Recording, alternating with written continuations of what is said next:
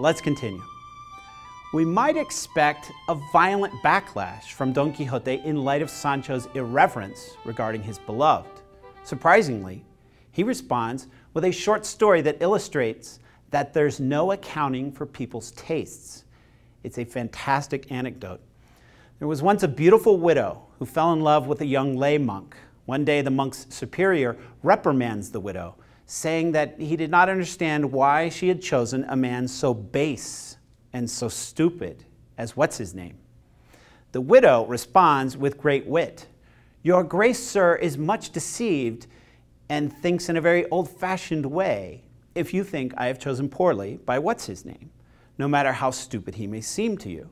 Because considering what I want him for, he knows as much philosophy as Aristotle and even more. We haven't seen Aristotle for many pages, so this story is likely more important than it seems. Indeed, Don Quixote himself interprets his comical anecdote as saying something deeper to the Spanish reader of 1605.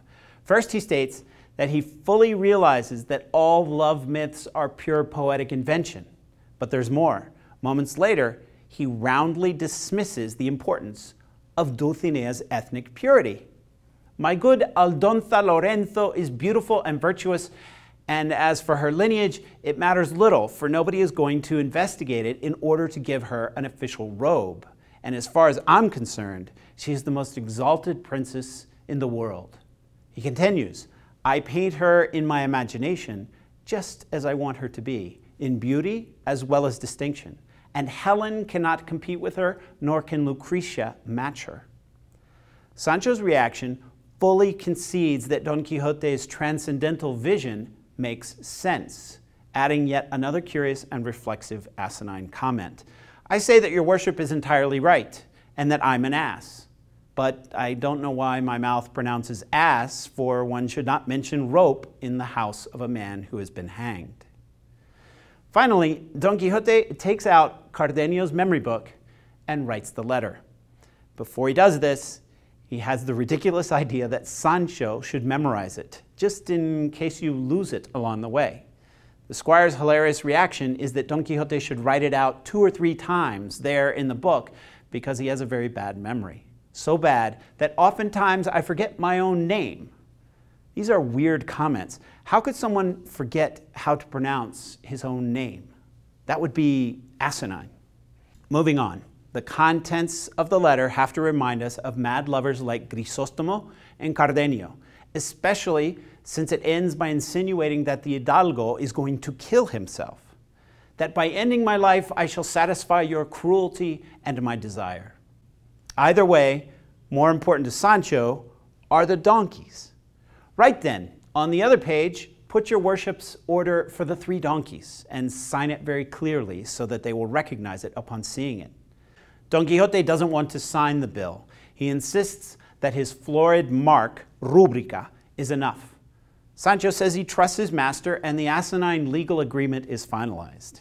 In a comical and meaningful way, after all the haggling over the bill of asses, Cervantes returns us to the question of Don Quixote's penitent acts of intentional madness.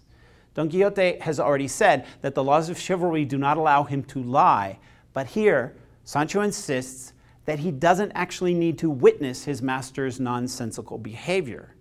But Don Quixote still wants Sancho to see him naked and performing one or two dozen follies so that he can get a general idea regarding the others. At this, Sancho is fed up and yells at Don Quixote, For the love of God, sir, let me not see your grace naked, for that will cause me much anguish, and I will be forced to cry, because I am in such a state from all my crying last night over the gray that I can't stand the thought of more tears. This is one crazy negotiation. In the end, Sancho prepares to depart, warning his master not to behave badly when he runs out of food. Are you going to take to the road like Cardenio and rob it by force from the shepherds? Think about this. Is a man who has just signed a contract with his neighbor for the payment of three donkeys capable of stealing food from innocent shepherds?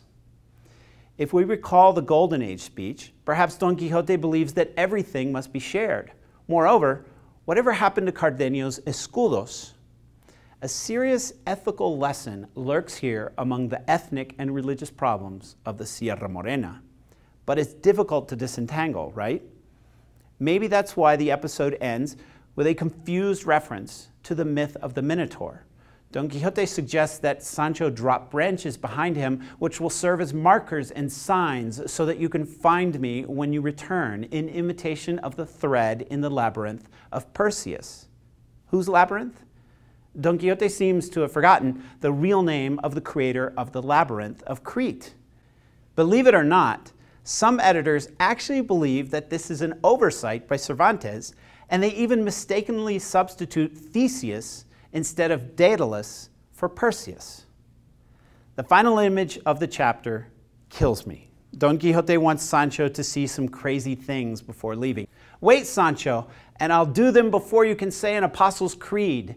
And removing his pants with all haste, he was left bare below his shirt tails. And then, without further ado, he clicked his heels twice in the air and did two cartwheels with his head down and his feet up revealing certain things, such that so as not to see them again, Sancho pulled Rocinante's reins and turned him about, considering himself satisfied and content that he could swear that his master had indeed gone insane.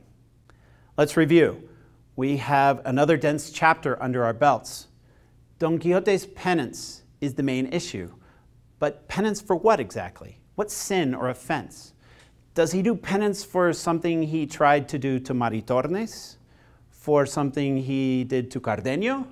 Perhaps he does symbolic penance for others, for what Grisostomo's friends said to Marcela, or for what Rocinante did to the Galician mayors? Or is this rather a kind of religious penance, as if our Hidalgo were a prisoner of the Inquisition or a medieval king of Spain guilty of some unspeakable crime? At the same time, we have the labyrinthical problem of Sancho's donkey. And all of this while Don Quixote strips Rocinante naked only to saddle him again so that Sancho can depart from hell, or purgatory, with a love letter addressed to Dulcinea, which for its part is also a bill of exchange for a trio of asses. More, in this chapter, we learn about Dulcinea's true identity and what she means to Don Quixote. Then there's the recurring theme of memory and certain confusions regarding the identities of our heroes. Sancho admits he's an ass, and Don Quixote is either the devil himself or else a version of Cardenio, potentially stealing again from the area's shepherds. Finally, nudity is everywhere, and Sancho is even forced to gaze on certain parts of our mad Hidalgo that surely nobody would enjoy. We can almost see him turning his eyes skyward and shaking his head at the insanity of his master. The 25th chapter is another maze of threads that are impossible to decipher, but it's always fun to try. Give it a shot.